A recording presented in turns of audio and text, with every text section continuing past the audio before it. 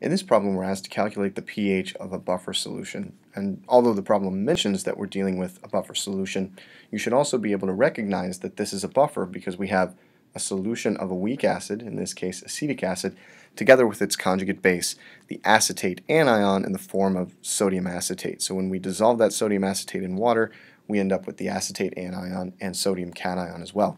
And the concentrations are given. We have 0.080 moles per liter of the weak acid, acetic acid, and we have 0.040 moles per liter of the conjugate base, sodium acetate, and therefore 0.040 moles per liter of the acetate anion.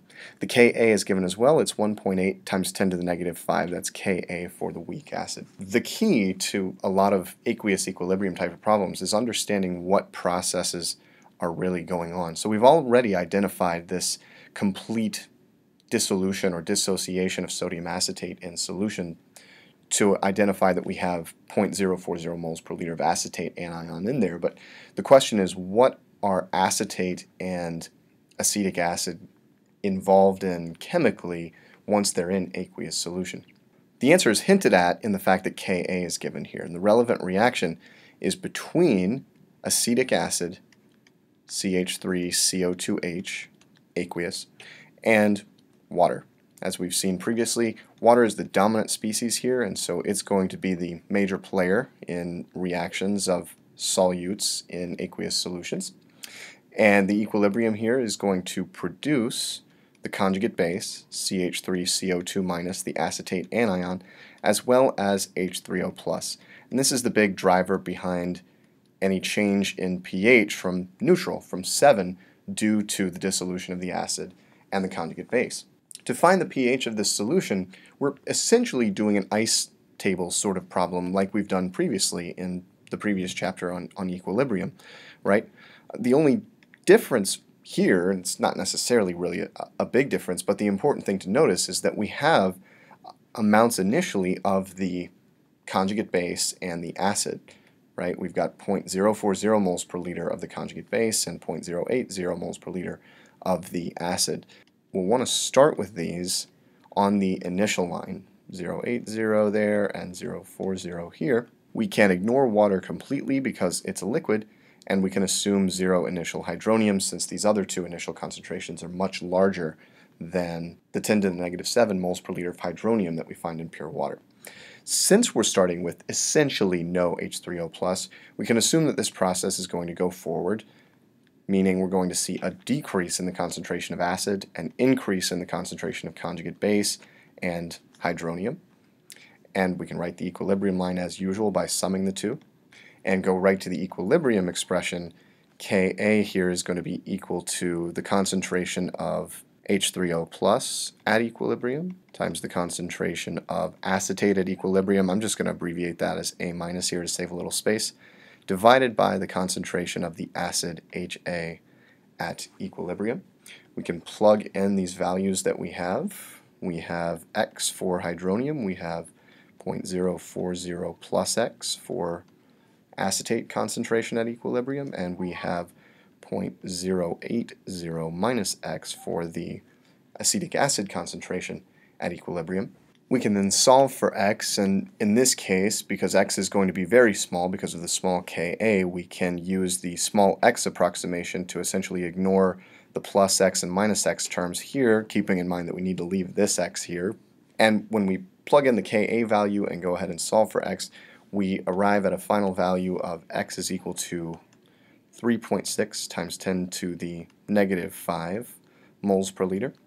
Now this is the equilibrium concentration of hydronium, right? We can see that by noticing that the H3O plus equilibrium line of the ice table, this cell right here is just equal to X.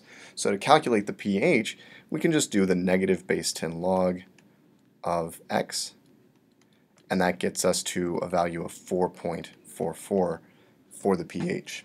So this example should feel pretty familiar. We're, we're just applying a strategy that we've used before, the ice table method, to a new context where we start with a mixture of an acid and its conjugate base and the reaction of interest, and, and this is key, you're going to be expected to be able to write and understand reactions of this type from a question prompt like this.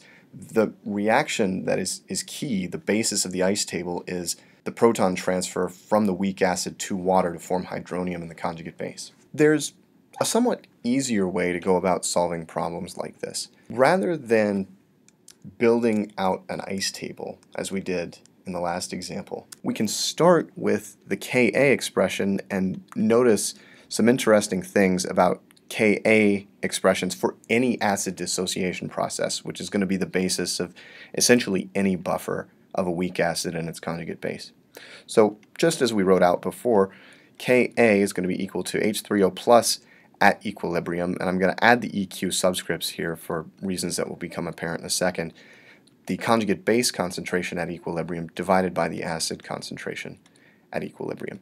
We can rearrange this equation slightly to isolate H3O plus at equilibrium by multiplying both sides by HA at equilibrium divided by A minus at equilibrium, right? And so we end up with HA at equilibrium times Ka divided by the conjugate base concentration at equilibrium is equal to the concentration of H3O plus at equilibrium. But now, if I take the negative base 10 logarithm of both sides of this equation, we can see right away that negative log of the hydronium concentration, well, that's just equal to pH, right? And I can apply the negative log term by term here. Negative log of the Ka, well, that's the pKa, and in applying negative log to the ratio HA over A minus, I can flip the fraction, right? I can invert the, the fraction and take the reciprocal and change that to a positive sign, leaving us with plus the logarithm of the A minus concentration at equilibrium divided by the HA concentration at equilibrium. This equation in blue at the bottom of the slide is known as the Henderson-Hasselbalch equation. And really we can see that we started from the equilibrium expression for Ka. So this equation and this equation are equivalent to one another. It's just that one is, as I like to call it, in p land, in negative log land, while the other one is just kind of in normal mathematics land. The beauty of this equation at the bottom of the slide is that it allows us to go right from concentrations of the conjugate base, the acid, and a given pKa to the pH. So if you think about the last problem, that's what was given. We had a concentration of conjugate base, we had a concentration of acid, and we had a pKa that were given. And by simply plugging in these numbers, we could get to the pH. One of the things to keep in mind with this process, though, is this equilibrium subscript. We were given initial concentrations these concentrations 0.040 moles per liter and 0.080, these are technically initial concentrations. However, in the course of solving that problem, we noted that the small x approximation applied.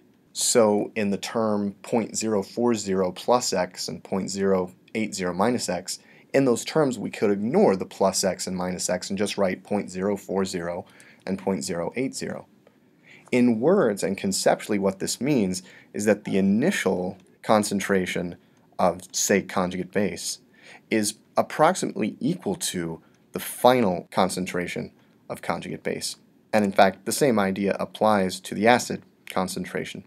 Because these were so large relative to the Ka to begin with, we can assume that they don't change much. They change to a negligible degree as this process comes to equilibrium provided that small x approximation works, which it does in the vast majority of buffers because we want to use large concentrations of the acid and conjugate base to protect the buffer from pH damage, to allow it to do what it's meant to do, which is resist changes in pH.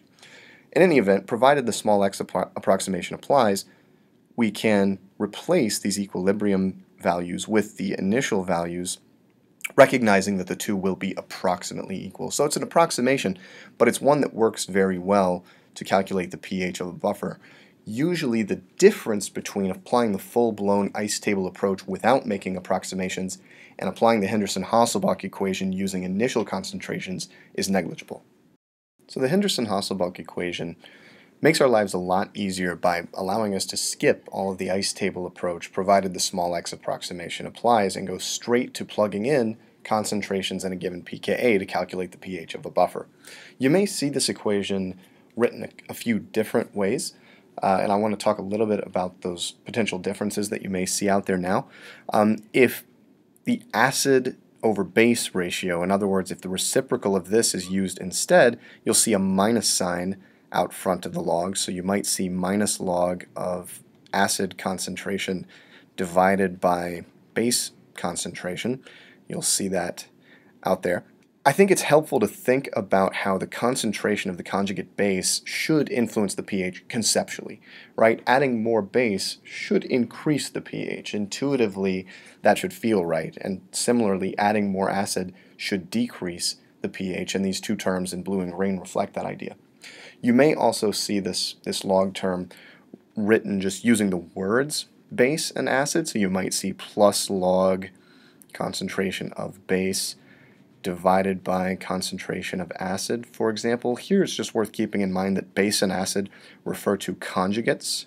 They have to be related as conjugates, otherwise the dissociation of the weak acid won't apply, right? And of course you may see the inverse of this as well, minus log of acid over base.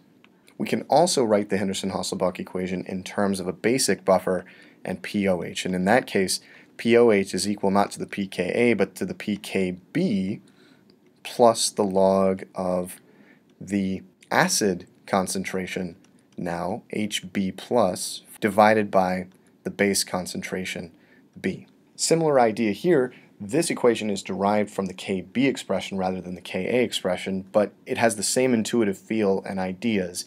As we increase the concentration of acid, the pOH goes up. That should make sense the concentration of hydronium increases, the concentration of hydroxide decreases. As we increase the base concentration, on the other hand, the pOH goes down and we have a higher concentration of hydroxide.